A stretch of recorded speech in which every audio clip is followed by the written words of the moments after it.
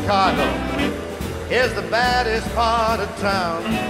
And if you're gonna go there, then you better beware of a cat named Leroy Brown.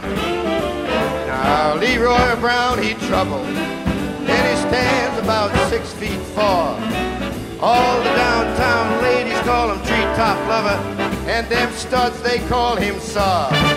Well, he's bad, bad, Leroy Brown. Baddest cat in the whole damn town. Badder than old King Meaner than a junkyard dog. Now Leroy, he a gambler, and he digs those fancy clothes. He likes to wave those great big diamond rings under everybody's nose. He got a custom Continental. He got an Eldorado too. He got a razor in his shoe. Yeah, he's bad, bad.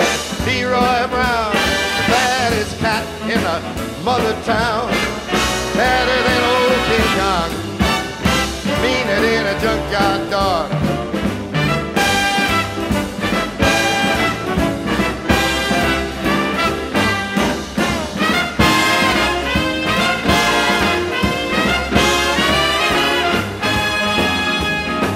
Friday about a week ago, Leroy throwing dice. And at the edge of the bar stood a chick named Sadie, and she sure looked nice.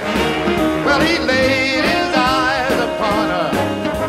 That's when the big scene began.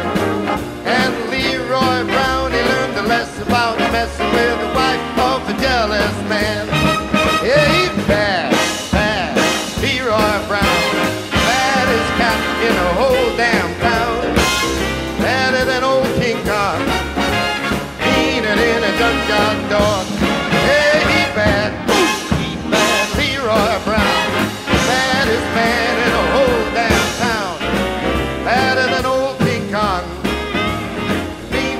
junkyard dog. Hey, badder than old King Kong. Meaner than a junkyard dog. Get away from me, you mongrel, you. That's the great Jim Croce. Leroy Brown.